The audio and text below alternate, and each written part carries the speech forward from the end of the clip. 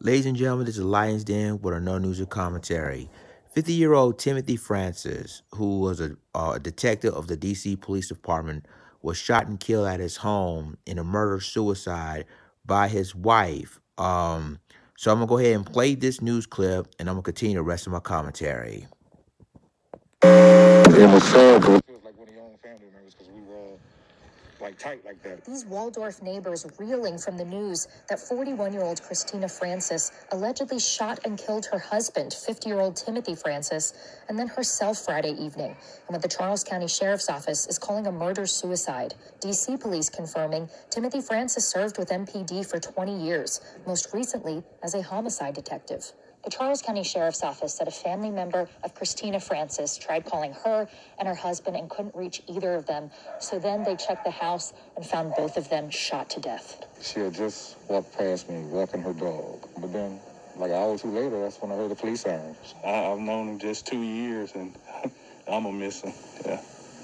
So every time I turn that corner on Fridays, I'm going to look over and just imagine and playing his music. Demetrius Wilson says that's how he met Tim, blasting go-go music on his front lawn. I just knew he was a family man. He loved his kids, and he he was just uh, he loved life. Both neighbors say they had all hung out a few weeks ago, and both Christina and Tim seemed happy. You never know what people go go through. DC Police Chief Peter Newsham said in a statement, mourning the loss of our colleague and friend is extremely difficult. Detective Francis spent two decades protecting the community from violence, and to learn that he was the victim of a homicide is heartbreaking.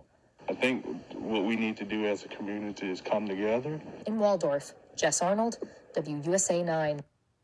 Okay, y'all, and well, there you have it. Now, of course, you know, Timothy Francis' wife is, as you know, a white woman.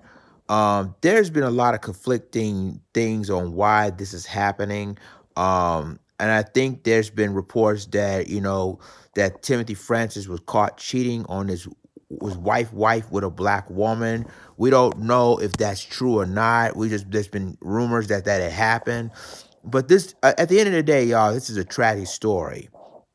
That Timothy Francis, who been with the DC police as a detective for a lot of years, and then you know as as of course you know as a homicide detective, now caught himself in a homicide by you know killed by his wife, and then all of a sudden she decided to put the gun into you know herself. So the thing of it is that there's kids involved in this, and the kids would not not only would not see their father again but they were also not going to see their mother again. So their kids going to grow up without a father or a mother at the end of the day. But regardless of what happened to this case, I mean, again, both lives have lost.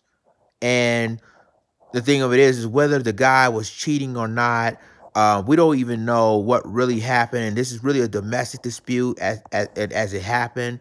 But at the end of the day, y'all, the, the their their kids will not see their parents ever again. You know, um, my thoughts and prayers goes to the families that lost the that lost their the lost of loved ones here. But it shows you, ladies and gentlemen, that no matter what the motive was, what if he's cheating or if he caught cheating with his with his wife, uh, with another woman, regardless of what happened, this is really a tragic story at the end of the day. So y'all let me know what y'all think about this case. Like, click, subscribe, and remember to click the notification bell for all the news and commentary. With that being said, then Lions Den sign off. Deuces.